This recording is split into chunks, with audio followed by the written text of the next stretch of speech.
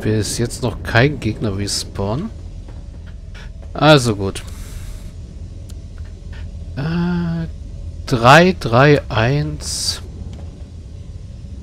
So, 3, 3, 1. Da war es, glaube ich, wieder noch mal 3, 1. Ja, also... The neutralizing agent worked. Gut.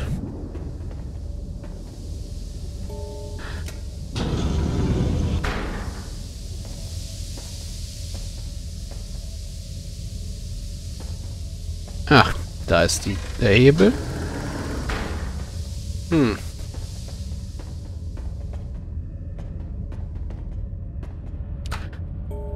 Okay, da muss noch irgendwas Böses kommen, oder? Uah.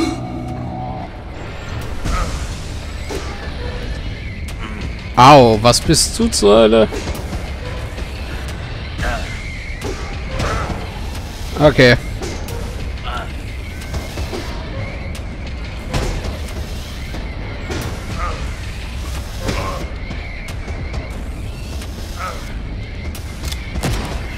Warum zur Hölle bist du so stark?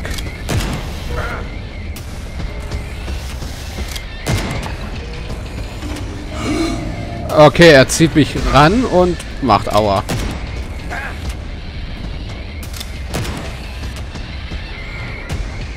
Mhm. Okay.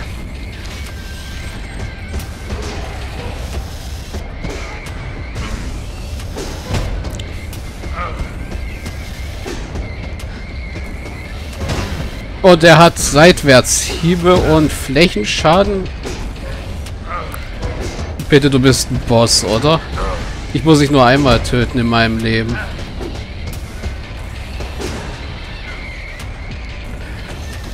Magnetgolem. These golems were supposedly only designed for heavy lifting jobs around the tower. Somebody's obviously repurposed this one for war. I always wondered what would happen if these giants went rogue. Didn't think I'd find out the hard way. Ja. Munition, was ist das? Integrity plus 4 Combat. Ah, Commander Rifle. Ich glaube, ich nutze einfach mal die Kiste hier, um Zeug rauszuschmeißen.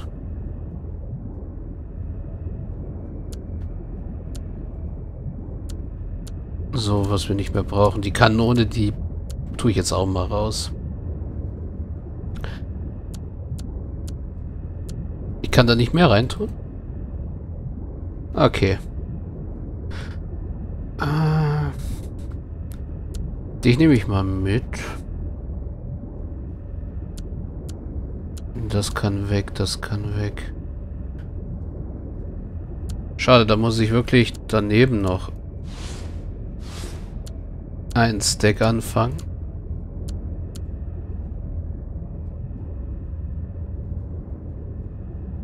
Hm.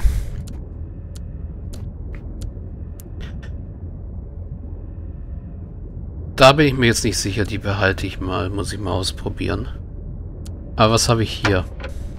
Strangest thing. Some of the bodies that I put into the fumium tanks a while ago are now showing signs of life.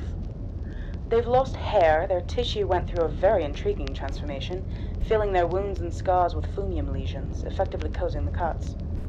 It's fascinating to see that Fumium can create another life form on its own, even without any interference. One of them even woke up and smashed the glass tank. Fortunately, two remade Guardians crushed it with their hammers before it could escape. If it had ever gotten into the complex, the Guardians would have no chance to neutralize it, seeing how fast and agile it was. Ja, Nova about Zombies. Also Fumium-Zombies. Und ich habe hier alles abgeklappert, bis auf die Nische, aber ich glaube nicht, dass da großartig was ist. Es macht mir eher Sorgen, dass ich noch einen Fumium-Schlüssel übrig habe.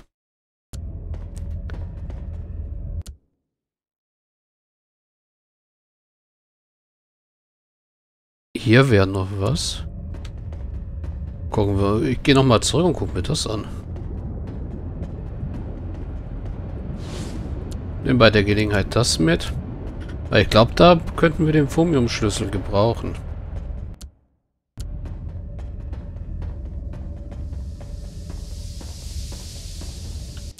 Hm. Hier rum. Und hier brauchen wir tatsächlich den Fumium-Key. Oh, puh. Au.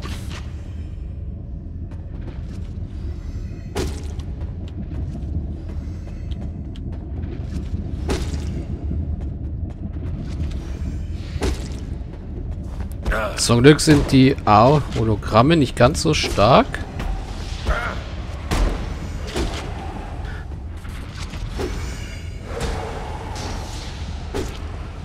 Ich hätte nicht sagen sollen, sie hat noch einen zweiten beschworen. Das ist nicht so schön.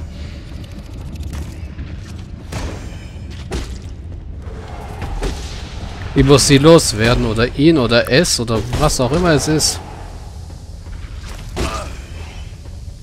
Okay, das ist jetzt nicht so schön.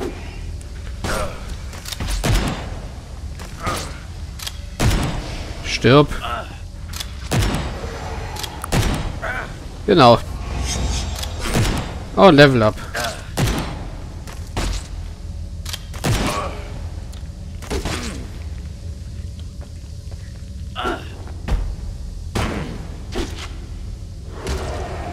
Okay, ich kann den auch Leben entziehen.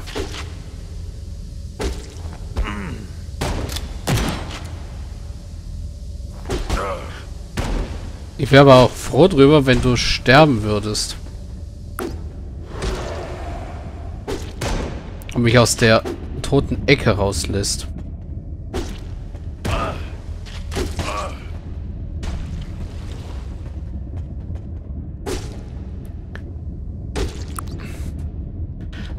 Also wer auch immer sich diese gemeinen Gegner hat ausgedacht. Hut ab, du bist ein Sadist. Also ich meine die Taumaturge, die einfach mal andere Gegner beschwören können. Wie sie Bock dazu haben.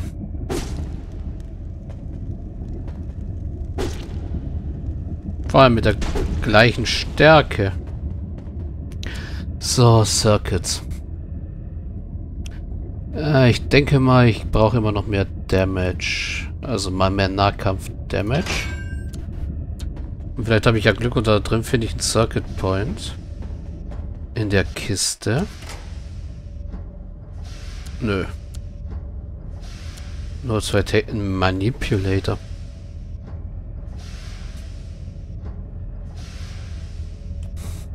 Das ist nicht schlecht. Und das da ist die beste Variante von dem Ding hier. Und eine Tech Fuse, okay.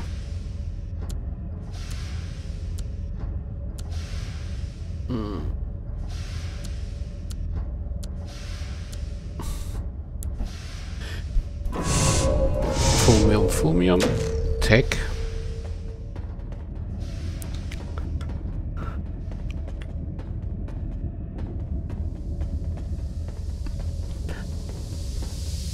Und das war's dann hier unten.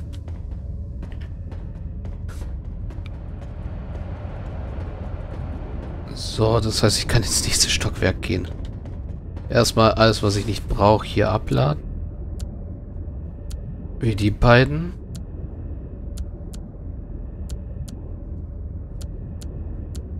Wie gesagt, bei dem Ding bin ich mir noch nicht ganz sicher. Ob die zwölf Schaden mit allen Waffen nicht praktischer wären. So, nächste Etage. Klar, von der grünen Giftgülle jetzt in was Rotes.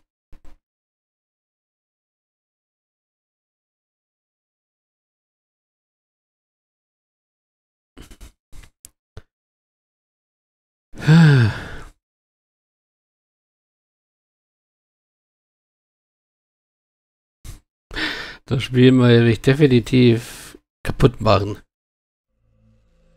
Oh, es ist noch nicht gar nichts rot.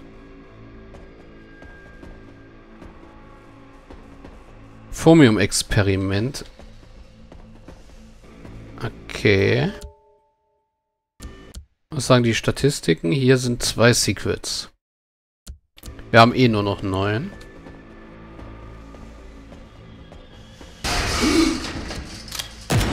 Ach du meine Güte.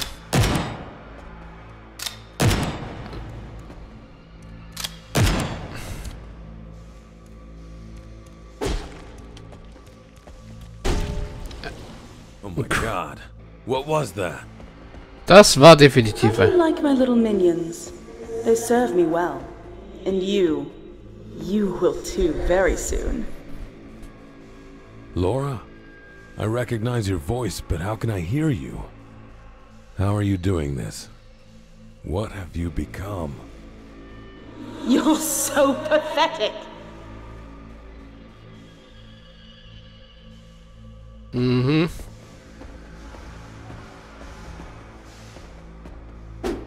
Okay. Nicht so schön.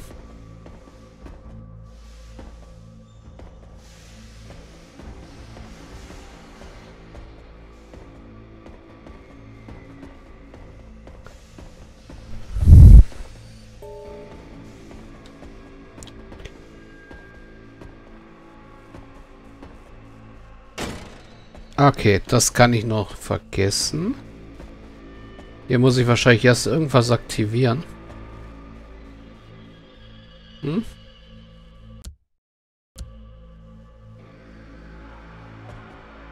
Und ja, ich gucke gerade wieder, ob hier irgendwo solche tollen Räder versteckt sind, weil da bin ich schon einmal drauf reingefallen.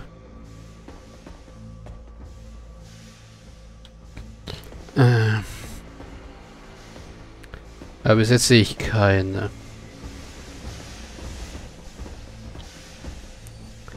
Elevator Machine Room. Ah ja.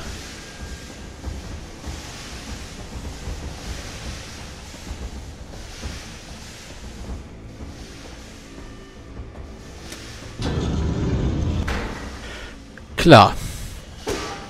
Nein, ich gehe nach Hause. Tschüss. Ich kann leider nicht gehen.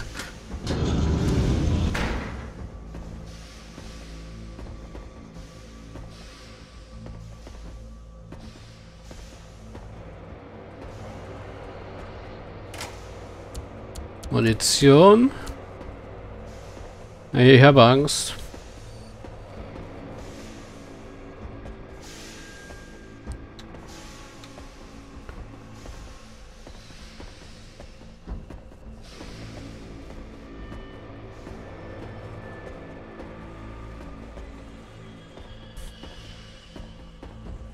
Oh. Ernsthaft? Was Besseres habt ihr jetzt? Oh. Ich hätte nichts sagen sollen.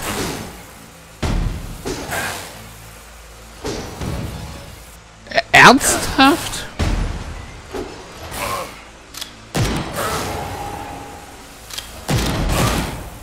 Okay. Das ist nicht gut.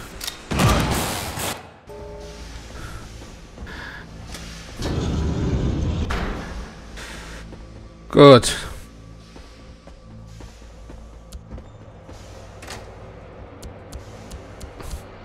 Vor allem 8, 7, 9. Hätten sie es da nicht wenigstens in der richtigen Reihenfolge machen können.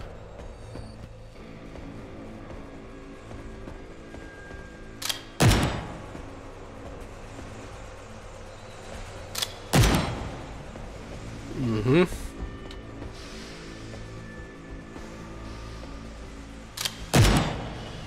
Der Ballermann könnte etwas nerven, vor allem weil ich nicht weiß, was für eine Reichweite der hat.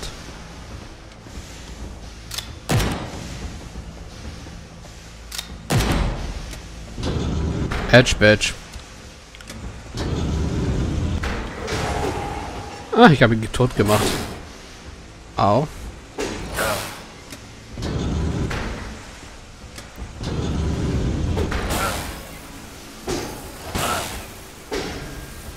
Ja, solange ich geblitzdings bin. Brav stehen bleiben. Au.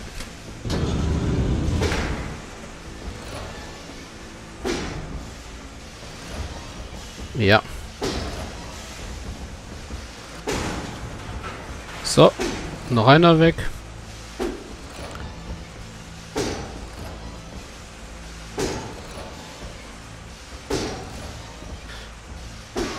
Ich kann mal zum Glück leicht ausweichen.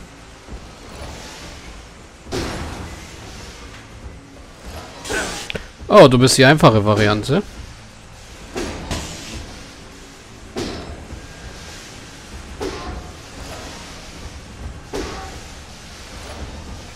Ja.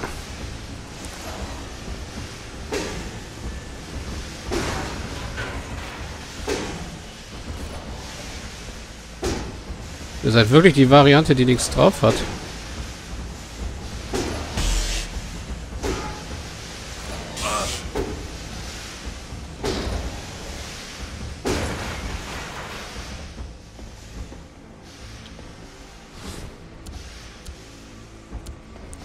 Ich höre aber noch einen, ja, das ist ein Ballerer.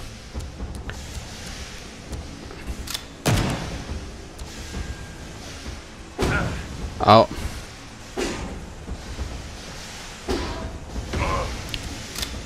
Das ist nicht so gut. Ah, zum Glück ist er tot. Er hat aber nichts gedroppt. Schade.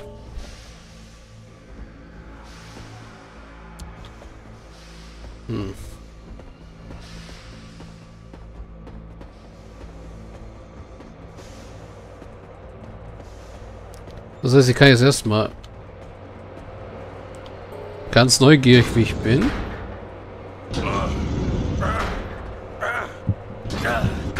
Sterben. Warnung. Experimentelle Testseiten hinter diesem Punkt. Hohe äh, Verstrahlungsstufen. Äh, Put on the Hazmat Suit before stepping in, also den Hazmat Anzug anziehen, bevor man eintritt. Den Anzug anbehalten an, zu allen Zeiten. Eigene Gefahr eintreten, okay.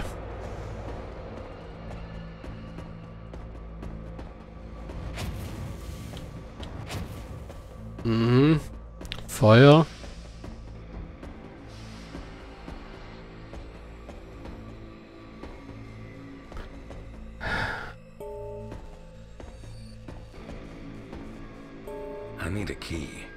Wieder ein Rostschlüssel. Eine Tür, die so aufgehen würde. Noch eine Tür, die so aufgehen würde. Mhm. Eine Tür, der ich nicht weiß, ob ich ihr vertrauen soll.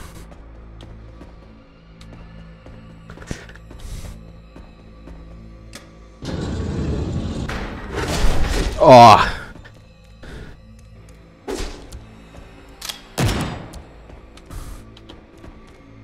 Ich krieg ja einen Herzinfarkt, Junge.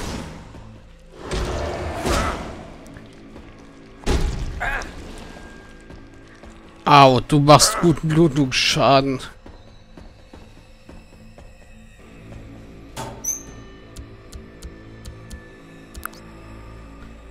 Superior Protect und eine Nachricht von William Bond. Oh, mal jemand Neues.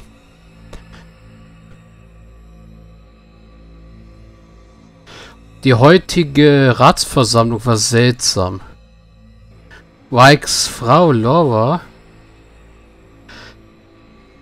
hat sich geweigert, die Ergebnisse ihrer Fumium-Erforschungen mit den anderen Wissenschaftlern zu teilen.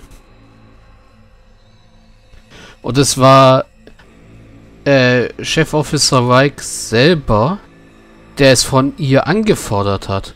Frau oder nicht. Er sollte ihr nicht so leicht nachgeben. Er sollte ihr allgemein nicht nachgeben. Ich verstehe ihre Beziehung nicht mehr. Sie war eine Mittelklasse, also mittler einge also Mid-Ranking heißt so zwischen so in der Zwischenstufe, in der Mittelstufe ein äh, Feldwissenschaftlerin. Äh, ich beginne zu denken, dass Weig nicht wirklich ähm, das Sagen hier hat. Sieht eher so aus, als ob sie es hätte. Und es ist wirklich etwas Seltsames an ihr. William Bond, Chief Administrator. Mhm. Will ich da rein?